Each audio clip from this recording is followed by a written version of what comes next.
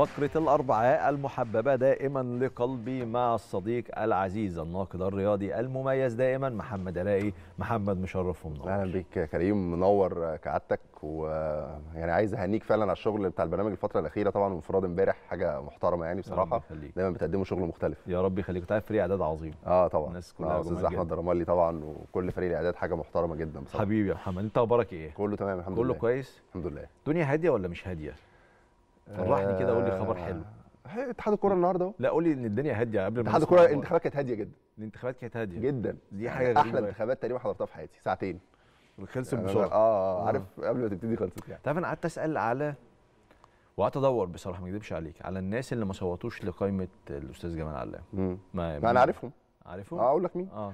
بس خلينا الأول نقول ليه الانتخابات سهلة. آه. الانتخابات سهلة لسبب بسيط جدا وهو إن آه نظام الانتخاب زمان كنت مثلا بتختار رئيس مم. ونائب رئيس وأعضاء صح. وأعضاء تحت السن مثلا يعني صح فممكن ناس. آه تلاقي بقى يعني فرز على كل مقعد وفرز على كل مكان فبالتالي الموضوع كان بياخد وقت صح المرة دي أنت بتختار قائمه هي بالظبط قائمه وقائمه فبالتالي صح. هو الفرز سهل جدا قائمه جمال علام قائمه قائمه صح. الثانية فبالتالي الفرز سهل فبالتالي العملية كلها أنا بقول لك الانتخابات خلصت الساعة 2 أش- كلها اشرح برضه أوضح للناس. أكتر هي الانتخابات أقيمت هذه المرة بنظام القائمة المغلقة يعني مم. لازم يبقى كل واحد بقائمته القائمة تخش يعني ما ينفعش أنت عضو آه، بشكل انفرادي تنزل الانتخابات دي ما ينفعش. لازم تبقى. موجود في قائمة وقائمتين فقط هم اللي نزلوا ترشيحات أو انتخابات اتحاد الكرة. وبالتالي زي ما محمد قال إنه الانتخابات كانت سهلة جدا صوت هنا وصوت صحيح هنا يعني الانتخابات كانت سهلة وفي نفس الوقت ال- 100 هنا وصوت هنا. الجمعية العمومية النهارده يعني كان منظر برضو محترم ومنظر حضاري يعني حضور قائمة امام أمام آه. حضراتكم. يعني حضور طبعا لكل الأعضاء يمكن غياب بس الممثل الزمالك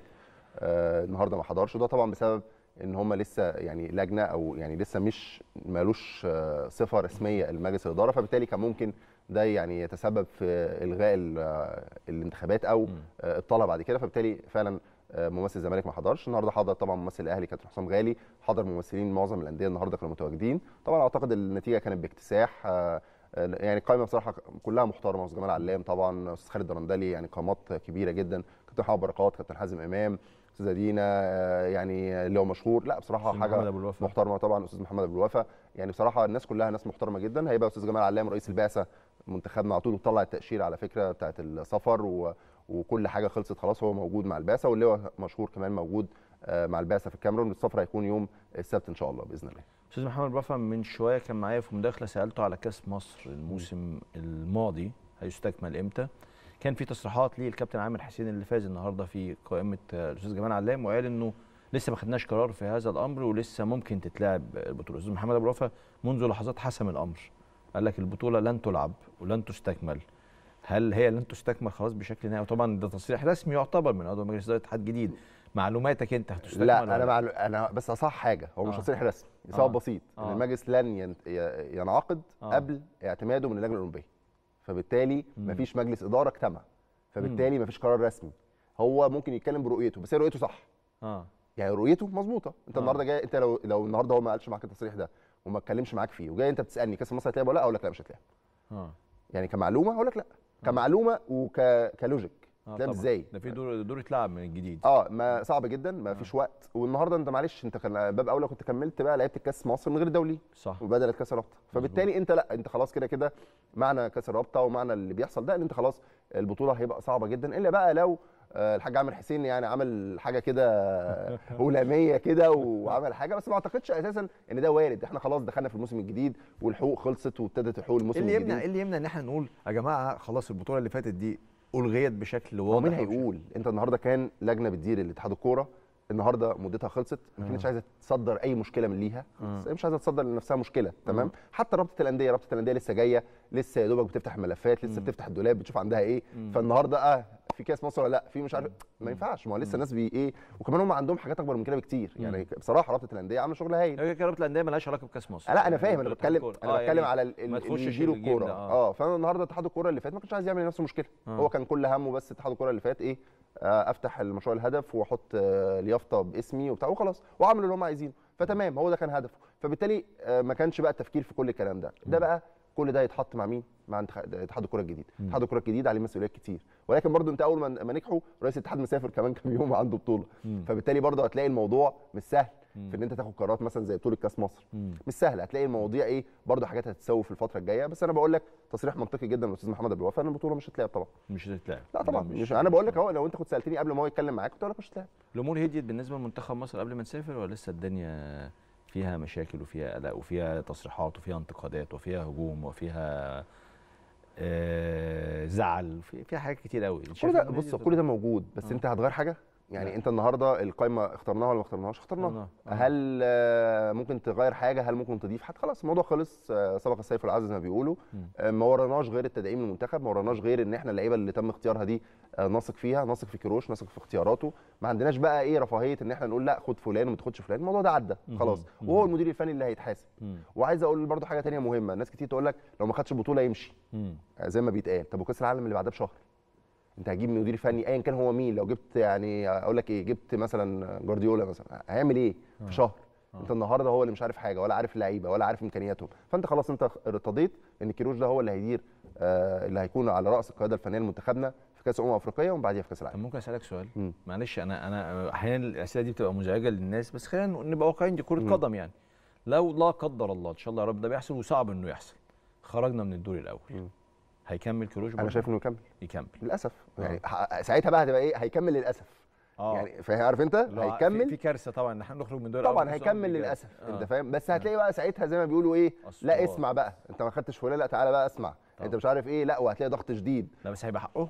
طبعا. يعني أنا شخصيا طبعاً. أنا شخصيا أكتر داعم للراجل من من أكتر الناس اللي داعمة للراجل. بس يوم ما يخرج لا قدر الله من الدور الأول مم. لا تعالى بقى. لا طبعا. وأنا أقول لك على حاجة. عشان دي اختياراتك. بص هو. مش من... هو مش منطقي الكلام. هو طبعاً. مش منطقي الخروج من الدور الأول لأن إحنا خلي بالك يعني إيه معلش إحنا مش يعني مش قليلين يعني. يا جماعة. إحنا أكتر منتخب واخد البطولة دي إحنا. آه أكتر منتخب واخد البطولة دي إحنا. أك... يعني منتخب عندنا دلوقتي يملك لعيبة. هو على على عهدته هو أو وفقا لوجهة نظره هو بيقول لك إن إحنا نملك لعيبة من أفضل لعيبة في العالم. مم. هو اللي بيقول. صح. تمام؟ فأنت النهارده آه، كل ده وفي الآخر واختيارت ده أنت وصلت الرفاهية إن أنت سايب قفشة. وصلت الرفاهيه ان انت سايب طارق حامد. صح. يعني انت معنى كده إيه؟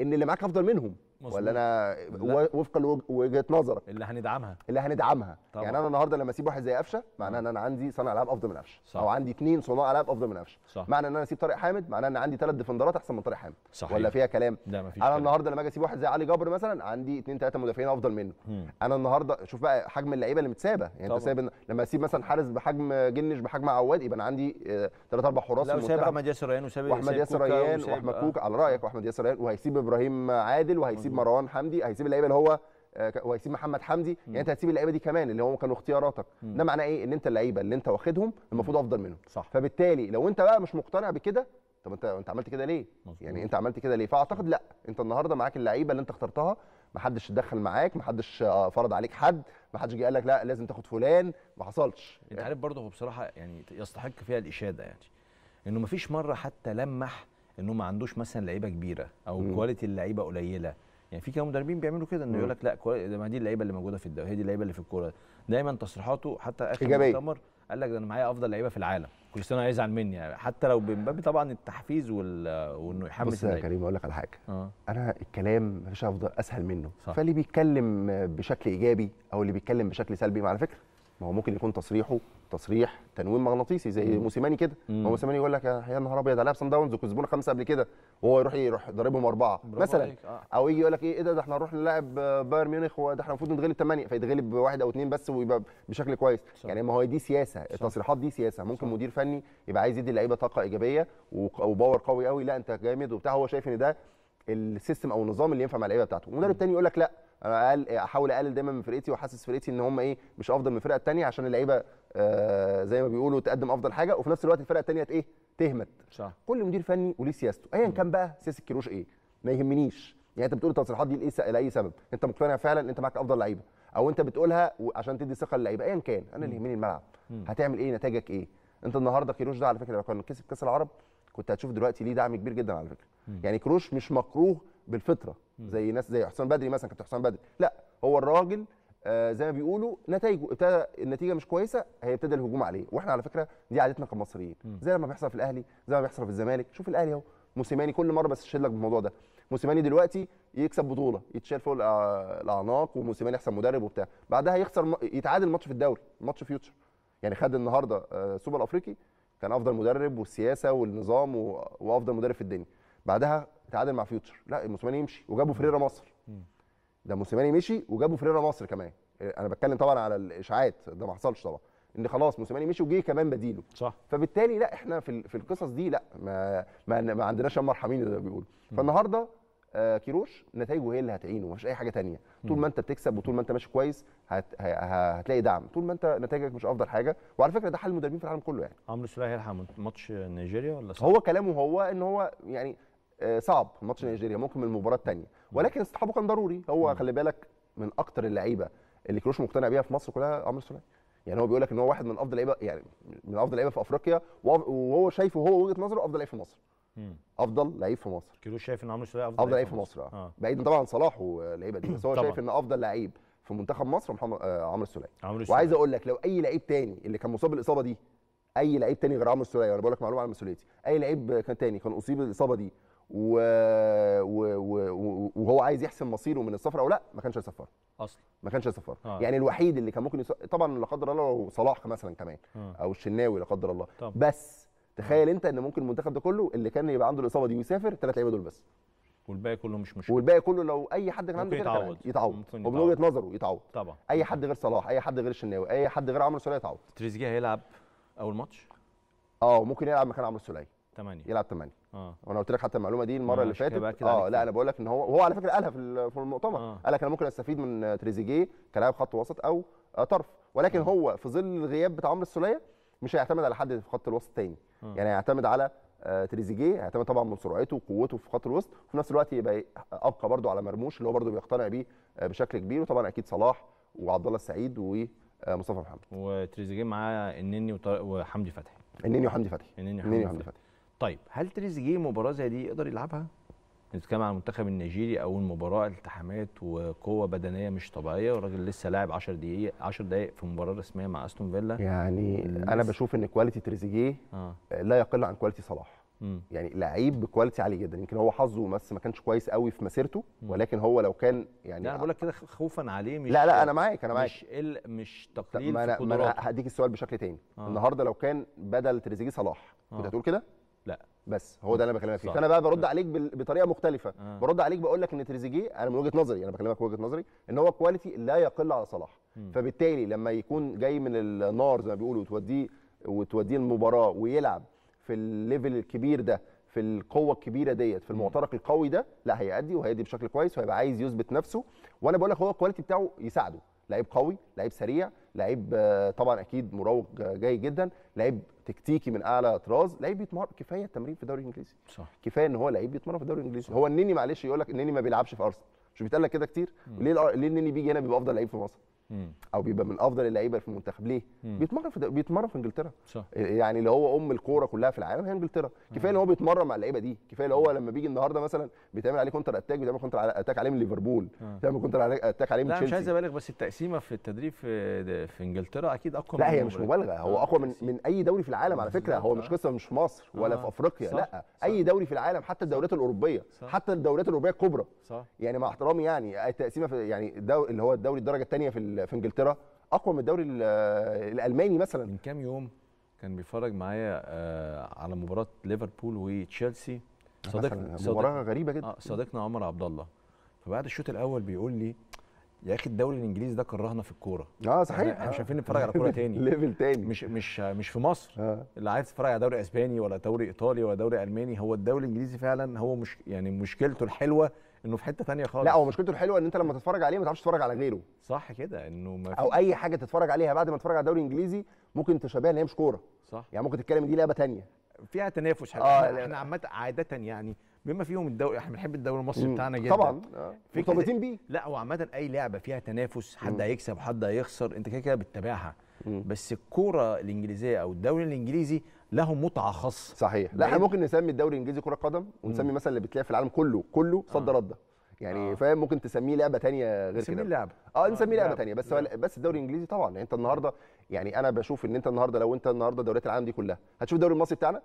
ولو هتختار دوري تاني هتختار دوري إنجليزي. يعني لو مثلا في مباراة كده هتبقى متارجت إن أنا أشوف ماتش آه ليفربول وتشيلسي أو. هبقى متارجت أشوف أرسنال و... وتوتنهام مثلا صح، يعني. صح. بس أنت ممكن النهارده تيجي يكون آه بايرن ميونخ وبروسيا دورتموند ممكن ما تشوفوش مع إنه هو بين قمتين أو بين أعلى فريقين. طبعا. حتى برشلونة وريال مدريد دلوقتي. دلوقتي ممكن ما تتفرجش على برشلونة ما بقاش فيه ميسي. وكريستيانو ما ولا بقاش فيه الفرقتين خلاص. جوارديولا صح. والفرقتين بالكامل كانوا زمان بقى. صح. لسه مكملين هذا الحوار الممتع مع صديقي العزيز الناقد الرياضي محمد عراقي بعد هذا الفاصل. نواصل إن شاء الله.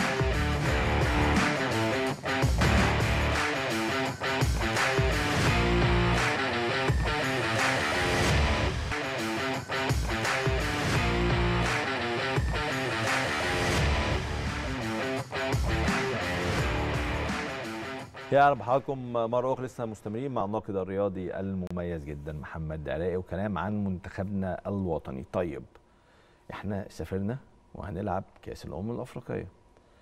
محمد شريف هيلعب فين في تشكيلة منتخب مصر لما يجي يلعب؟ طرف. مهاجم ولا طرف؟ طرف. طرف. تعالى لي بقى. أيوه عشان ده أو بديل لمصطفى محمد. يعني يعني عارف بقى إيه المرونة التكتيكية بقى؟ النهارده مصطفى محمد خرج ومصطفى محمد مش هيخرج. يعني اللي هو الطبيعي إن مصطفى محمد هيلعب المباراه كاملة. آه. في خطة كيروش مصطفى محمد هيلعب المباراة كاملة. لأن هو بالنسبة له هو بيشوف إن مصطفى محمد ده دي برده معلومة بيشوف مصطفى محمد ده في حتة كمهاجم في مصر وأي مهاجم بعديه بعيد عنه 40 50% تمام. فبالتالي مصطفى محمد موجود أساسي إلا طبعا بقى لو أجهد إلا لو لا قدر الله إصابة أو كده. فممكن شريف ساعتها يدخل مكانه. ولكن محمد شريف الطبيعي آه، جناح بديل. طب أنا أقول لك حاجة بقى. مم. لو لا قدر الله بلاش لا قدر الله يعني آه، طبعا كل حاجة ربنا يقدرها بس أقصد إنه خرج لأسباب فنية مش إصابة ولا حاجة. خرج لأسباب فنية مصطفى محمد إنه هبط مستواه بدنيا قل ولا حاجة.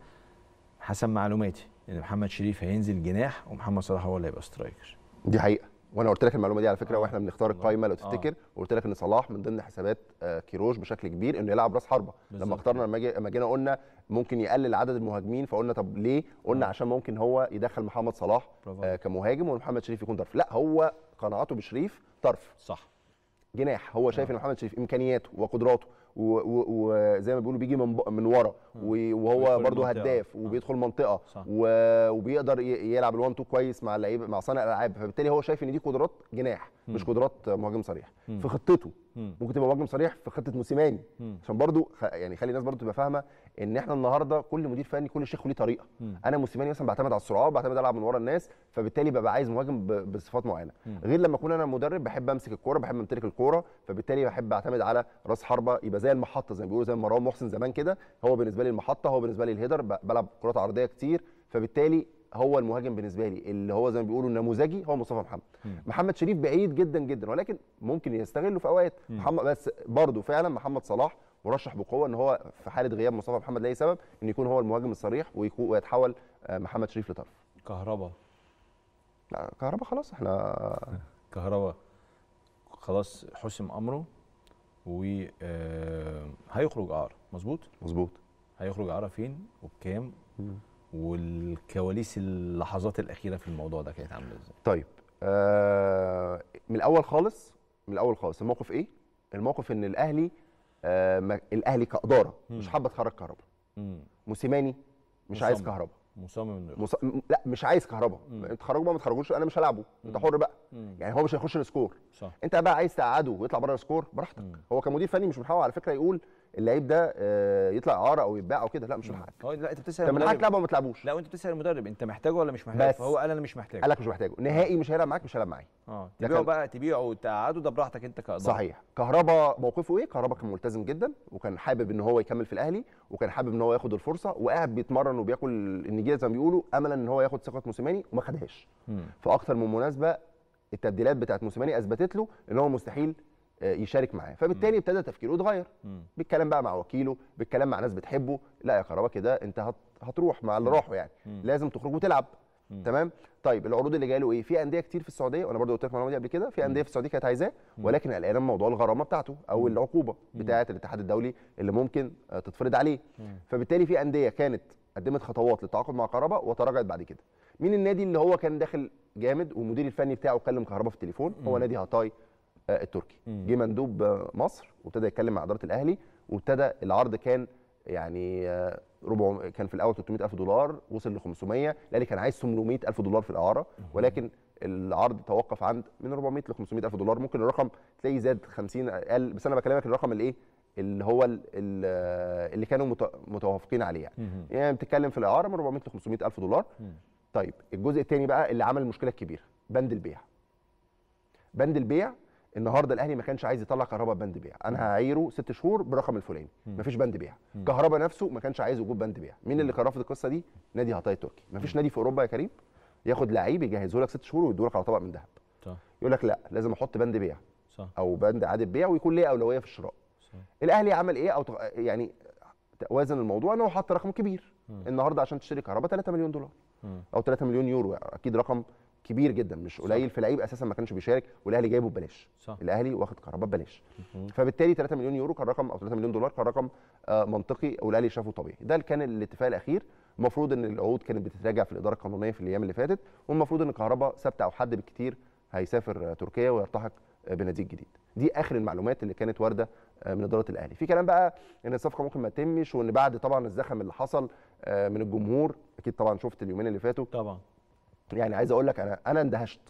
ان شفت رد فعل من الجمهور كأن بالظبط الأهلي بيسيب قفشة أو محمد قفشة أو محمد ليه شناوي بقى؟ آه حب في كهربا وده على فكرة كان حاصل مع صالح جمعة. لو تفتكر كنا نقعد نقول كتير سيبك من كهربا لأن الوضع مختلف. كهربا وصالح جمعة الوضع مختلف. إحنا آه. كنا ساعة صالح جمعة بنقول يا جماعة صالح مش ملتزم. هو فعلا ما كانش ملتزم. مم. في أوقات كتير. صح. الجمهور كان بيهاجمنا أو كان ما كانش بيعجبه الكلام. صح. ولكن ثبت في الآخر إن ده اللي كان الواقع. كهربا لا ملتزم. أنا بأكد لك إن كهربا ملتزم. مشكلة كهربا الوحيدة موسيماني طب هل كهربا ملتزم منذ انضمامه للنادي الأهلي لا مش منذ انضمامه الاهلي طبعا لا. هو ملتزم في الفترة ملتزم الاخيره في الفترة الأخيرة. لا آه. طبعا. منذ انضمامه الاهلي إزاي؟ ده اتعمل عليه عدد غرامات تاريخي. يعني مم. كهربا تقريبا من أكتر اللعيبة اللي اتغرمت في تاريخ الكرة المصرية. مم. لا طبعا مش من أول ما جه الأهلي. بس أنا بكلمك في الفترة الأخيرة. لو. هنتكلم على الست شهور الأخر لا كهربا ملتزم. يعني أنا أقصد سبب عدم رحيله دلوقتي أو سبب رحيله دلوقتي مش عدم الالتزام. صح. سبب رحيله دلوقتي وبشكل قاطع ولا إن هو بيسرب أخبار الفرقة ولا ولا الكلام ده خالص. هو الموضوع كله فني بحت. هو كان شايف موسيماني شايف إن كهربا مش بيدافع جيد. مم. وهو عايز طول الوقت الطرف في خطته اللي هي 4 3 3 ديت أو 3 4 3 ايا كان بيلعبها إزاي بتبقى محتاجة الطرف يكون ليه مهام الفترة اللي. قضاها كهربا مع النادي الأهلي حتى رحيله على سبيل الإعارة شايف قدم فيها ما يشفع ليه حب الجماهير ومساندتهم ليه؟ لا طبعا هو ما قدمش بس أنا برضو في نفس الوقت مش عايز أظلمه في أرقامه أرقامه كويسة. آه. لما تيجي تبص على أرقامه في المباريات هي مش حاضرة دلوقتي معايا بس أنا بقول لك أرقامه كويسة جدا. مم. على مستوى الأهداف أو على مستوى ال- الأسيستات لا أرقامه كويسة جدا بالمقارنة بعدد كبير جدا من اللعيبة. ولكن هو حظه وحش. مم. آه مدرب ما بيحبوش. مدرب آه باني خطته مش عليه. ضيف ضيف كمان إنه ضيع وقت. ضيع وقت طبعا. معاك جدا ضيع وقت كتير. فلا طبعا في الظروف بصراحة والملابسات ما ساعدتش كهربا. ولكن أنا شايف إن دي خطوة أو زي ما بيقولوا آه يعني بارقه أمل ليه إن هو ممكن يرجع كهربا تاني. لو هو عايز. نادي عطاي نادي تتكلم في رابع أو خامس الدوري دلوقتي تركي آه نادي مستقر نادي مش اللي هو يعني عليه زخم كبير مش مطالب ببطولة فبالتالي أنت هتروح المفروض تتألق بس. والدوري التركي يعني مش دوري يعني صعب يعني دوري عادي. إيه موضوع أشرف بن شرقي؟ أشرف بن شرقي. أشرف بن شرقي لعيب أجنبي. بكلمك على أشرف بن شرقي والأهلي والزمالك. طبعاً. فاهم طبعا. طبعا. أشرف بن شرقي لعيب أجنبي. آه. لا يسعى إلا وراء الماده لا يسعى إلا وراء الماده ده. كلام يعني ما فيهوش كلام قولا واحدا يعني. الراجل زملكاوي. لا مش زملكاوي. بيحب الزمالك. لا و... لا بيحب الزمالك دي قصة ثانية بس مفيش حاجة اسمها زملكاوي. مفيش لعيب أجنبي ز- لا زملكاوي اقصد. يعني الراجل نفسه بيطلع في كل مكان أو حتى وكيله بيتكلم إن هو لا مش وكيله. هو سمعته أنت؟ اشرف بن شرقي لا بس ولا يعني أنا سمعته. لا يعني في الحاجات اللي هي بتاعت تويتر و... وعلى الانستجرام حب للزمالك وبعشق طب الزمالك أقول لك مفاجأة؟ آه. وده كلام على مسؤوليتي. آه. وكلام ما حدش يعرفه خالص. آه. أشرف بن شرقي بعت إنذار رسمي للزمالك امبارح بيهددوا بفسخ التعاقد.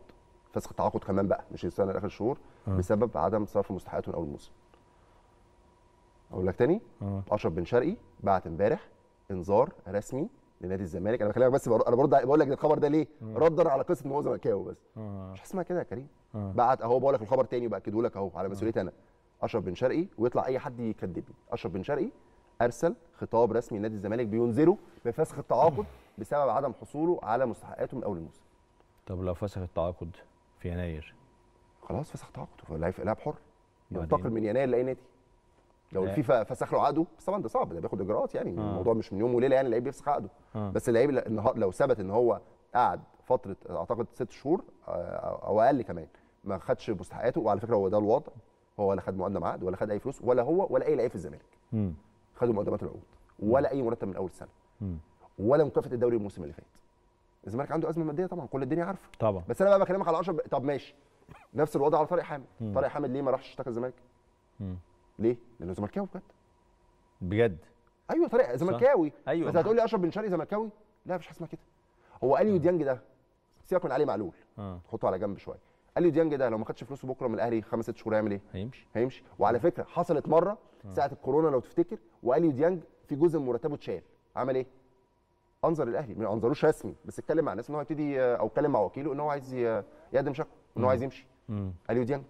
نفس الكلام على بدر بنون نفس الكلام على آه، بيرسي تاو. بيرسي تاو ده لو ما خدش فلوسه 3 4 شهور هيعمل إيه. ميكيسوني نفس الكلام. علي معلول ده قصة ثانية علي معلول الراجل خلاص خلاص هو بيختم حياته. مم. في نفس الوقت هو بقاله قد إيه في الأهلي؟ مم. في نفس الوقت هو عارف إن مستقبله مم. في الأهلي.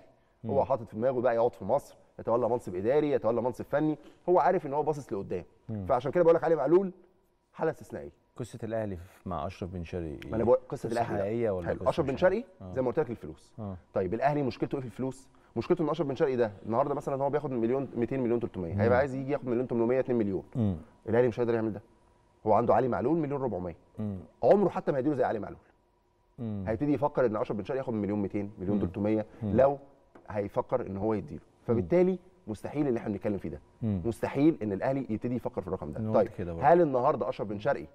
آه الأهلي مش هيبقى عايزه؟ لا الأهلي هيبقى عايزه طبعا. وأي حد يقول لك كده يعني لو إدارة الأهلي النهارده أي مسؤول في الأهلي قال لك مش عايزين اشرف بن شرقي يعني قول له لا الكلام مش مظبوط. انت. عايز اشرف بن شرقي. واشرف بن شرقي لو لعيب فري هتاخده. أي نادي هيبقى عايز اشرف بن شرقي. الله ينور عليك. أي نادي موهوب يعني بس ومميز. خلاص إحنا وصلنا للمرحله اللي هو الإيه؟ القول الفصل في الموضوع. آه. أي نادي هيعوز اشرف بن شرقي. آه. ولكن الموضوع مادي. صح. وخلي بالك مش مادي إن الأهلي معهوش فلوس. لا الأهلي آه. معاه فلوس.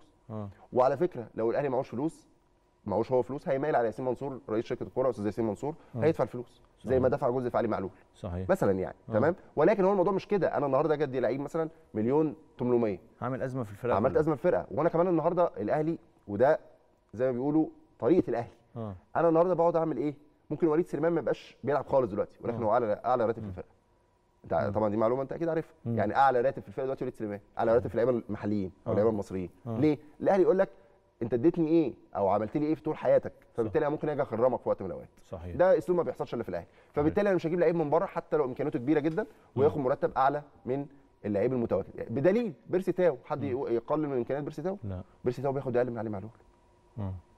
أنت فاهمني أقصد إيه؟ يعني هو القصة في إيه؟ إن أنت النهارده مش حجم اللعيب اللي أنت جايبه، طب بيرسي تاو معلش يعني المفروض quality أعلى من أشرف بن شرقي، صحيح. فهو عمره ما هيدي أشرف بن شرقي آه. رقم أكتر من بيرسي تاو مثلا.